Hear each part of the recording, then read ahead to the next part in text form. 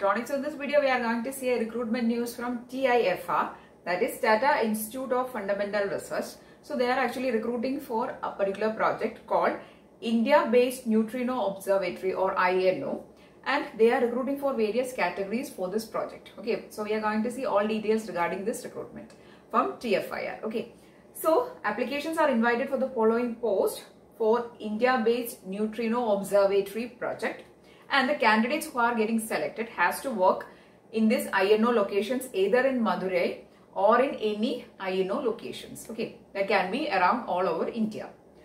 So the posts they are recruiting are first one is Project Scientific Officer Electronics with one vacancy and second one Project Scientific Officer B Detector then Project Scientific Assistant Civil then Project Laboratory Assistant Electronics Wiring and Assembly again having one opening okay so this is the various uh, categories and opening details the, the age limit is below 28 years for all the categories okay now the pay details, the consolidated pay including HRA is like this. For Project Scientific Officer C Electronics, it is 75,500. So the salary of the pay scale is really good.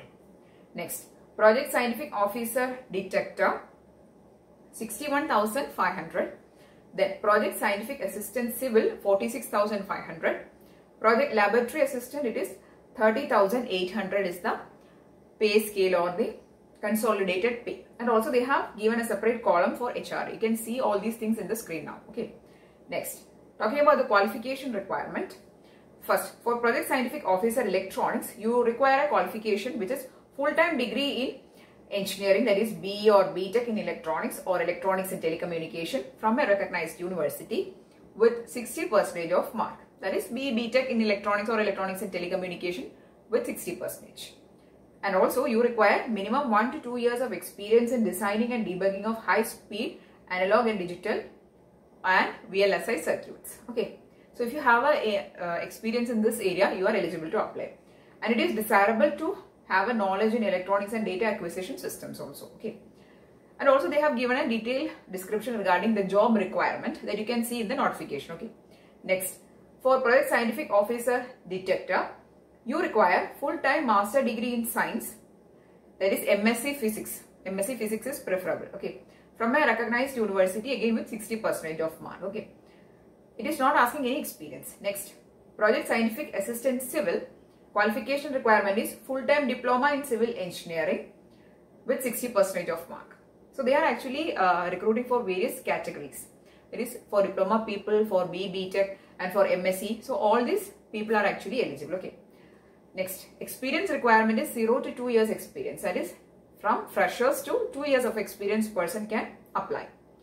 Next, project laboratory assistant qualification is full-time HSC with 60 percentage of mark and 2 years of laboratory experience or National Trade Certificate awarded by National Council of Vocational Training or National Apprenticeship Training awarded by National Council of Vocational Training. Okay, so you can see all these things now on the screen.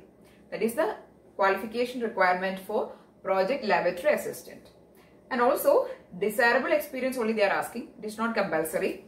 Experience in electronics board wiring and assembly. So it is actually for the electronics laboratory. So if you have a similar experience and then, then it is desirable. Okay. So these are the qualification and the requirements. And also talking regarding the selection process, they have not really mentioned what is going to happen. There can be interview or there can be test, but they are only mentioning like recruitment process. That if you are if you are eligible with all these qualifications, then you are uh, permitted for the recruitment process. Only the, this thing they have mentioned. Okay. Now talking about the application procedure, you can either apply online or you can apply offline. Both options are available. So online applications has to be submitted by January 9th. The last date is January 9th. Or you can also submit by post and again your post should reach there on or before January 9th. Okay. So that is the application procedure and for applying I'll be sharing the link of application description. Okay. So you can directly apply from that link. And also they have given several general instructions for your information. I'll read out it for you. Okay. So the selected candidates has to work in any location of INO. That thing we have already discussed. Next, this post, uh, there is uh, this post is actually temporary, but it will be renewed every year and it will go up to a maximum of three years. So if you are getting recruited, this job is maximum for three years. Okay. Further, is it extendable or not will be actually depending on the organization. In this notification, they have given like this. Okay. And also you have to work in shifts on Saturdays, Sundays, all these things they have mentioned in this notification. Okay. So uh, there is also no fees for applying. There is no fees uh, they have mentioned in this notification. So it is free of course.